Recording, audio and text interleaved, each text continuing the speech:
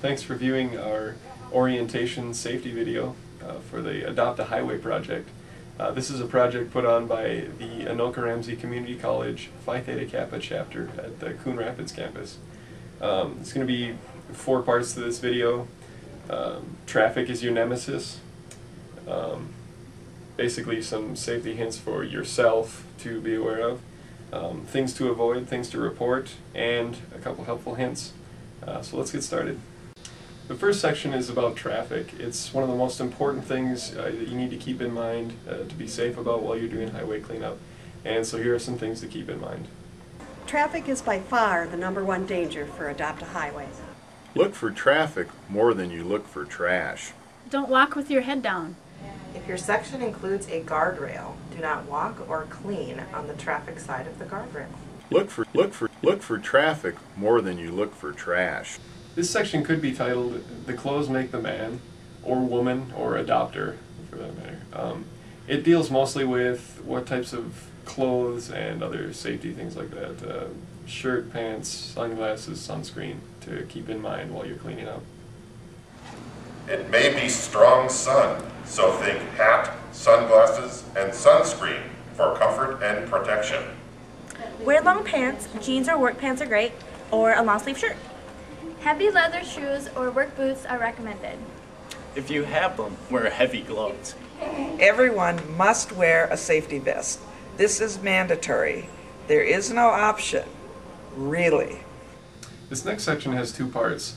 The first part is things to avoid to keep you safe while cleaning, and the second is items that we don't pick up that we have to report. Construction sites. Mowing activities. Open water or large gullies and ravines. Poison ivy. Poison oak. Wild parsnip.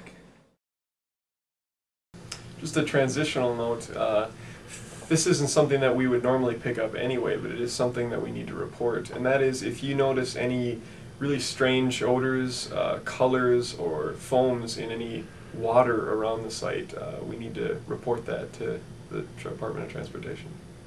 Report these items using a writing pad or cell phone. Call to one of the project leaders. Heavy, large, or hazardous materials. Larger dead animals. Explosives, abandoned barrels, or containers with unknown content.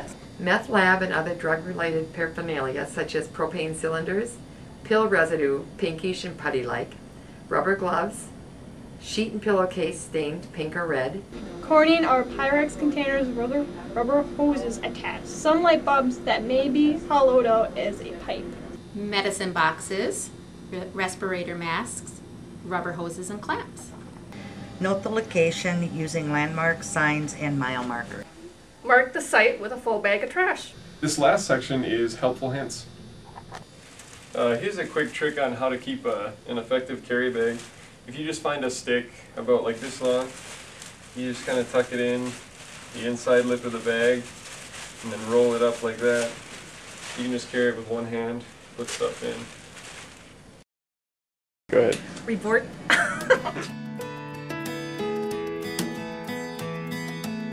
Go ahead. Reverse stop it.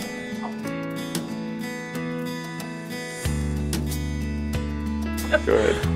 Poison ivy. Sorry, I, I think we missed the first part of that. Just do it again.